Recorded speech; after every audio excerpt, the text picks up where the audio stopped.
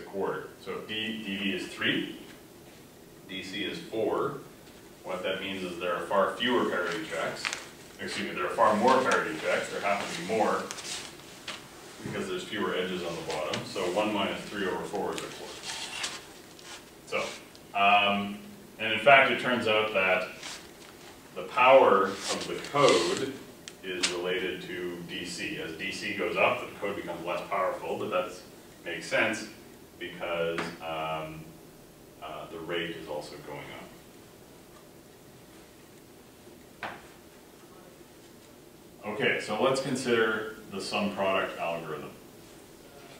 Now, remember, this is not the complete graph. So we form the complete graph by connecting these edges randomly.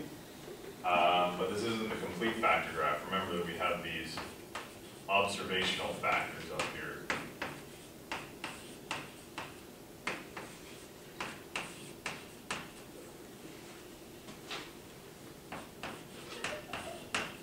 Like that. So that's the complete factor.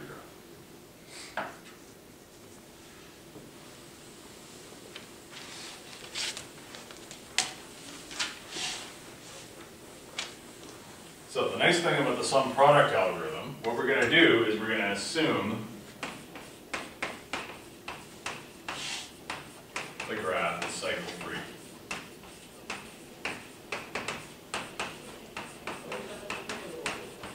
Which it's not.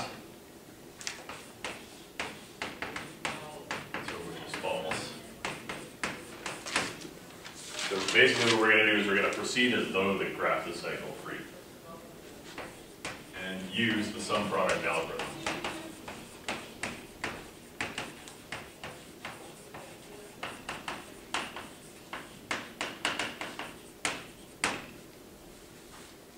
So at each variable, so here's xi, the variable xi, which is connected to dv checks,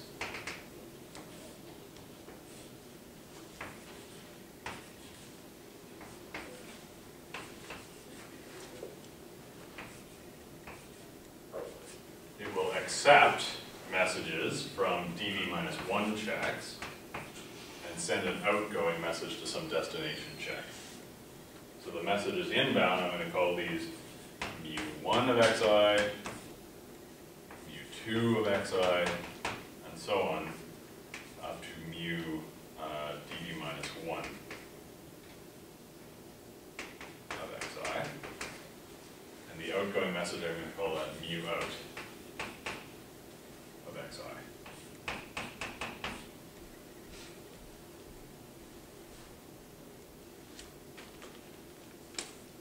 I also have, for every uh, code bit, I have this attached to it.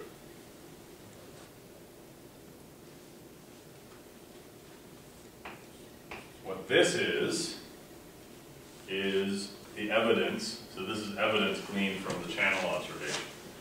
Uh, in this factor, I have f of yi given xi. Now remember, these yi's are observations.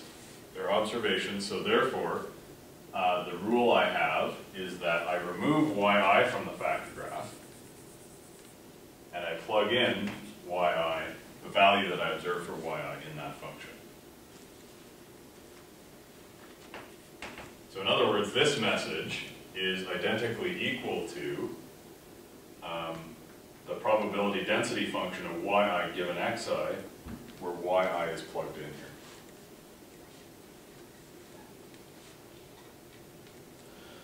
Now, what is mu out?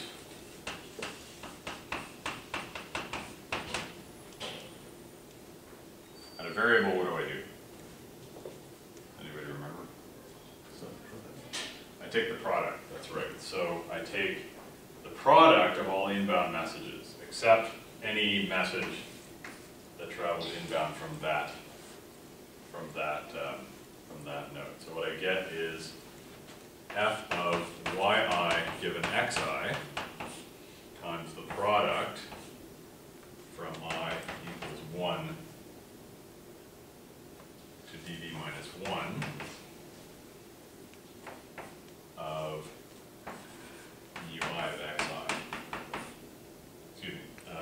using I here, let's make that index of multiplication j. Let's use j of xi.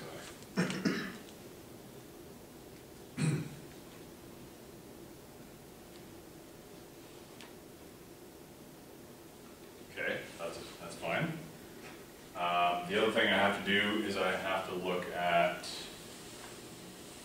the factors. Now, don't get too attached to this way of calculating messages because I'm gonna show you a different way that's, that's used more commonly in practice. But just proceeding formally, this is how you would do it. Um, and there's no reason why this is wrong. This is perfectly fine.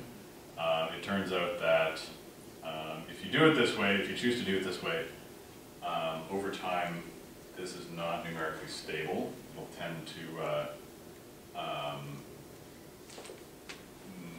these values tend to be less than one, so therefore when you multiply them together over and over and over and over, you'll tend to get underflows. So what you'd have to do over time is renormalize every so often. Um, so that's one frustration with this uh, way of calculating it. The other frustration, let's look at the checks.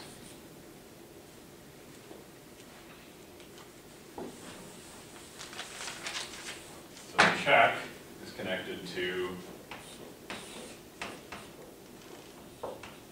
DC minus one, or excuse me, DC variables.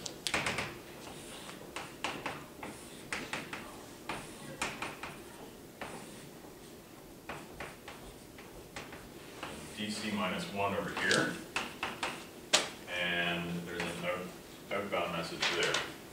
Now, um, because this is a parity check, this parity check is enforcing the constraint that x1 plus x2 plus x3 and so on, up to x dc minus 1 plus x out are all equal to 0 mod 2.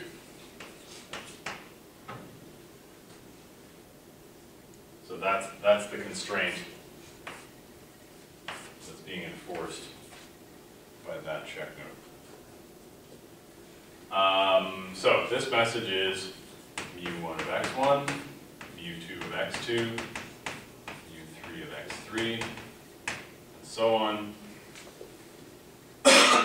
down to um, mu dc minus 1 of x dc minus 1. And the outbound message is mu out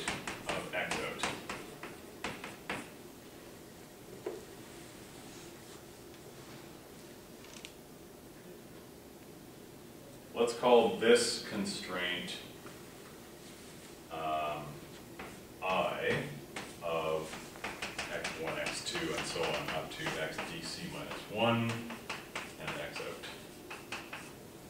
And as we talked about uh, last time, this constraint, this is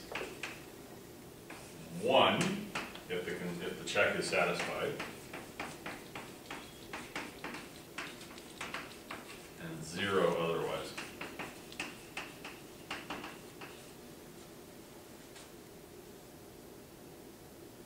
So at the, at this check, what we do is we take the product of all the inbound messages times the internal constraint.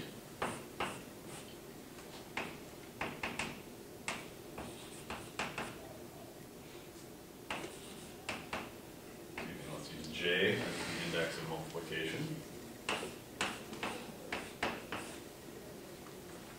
That times the internal function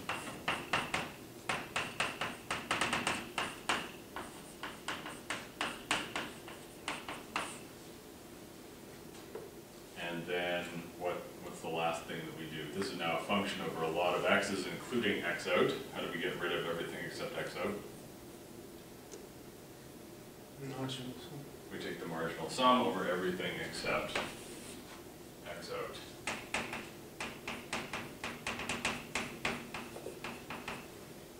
Okay, so again, this is, this is technically correct. Um,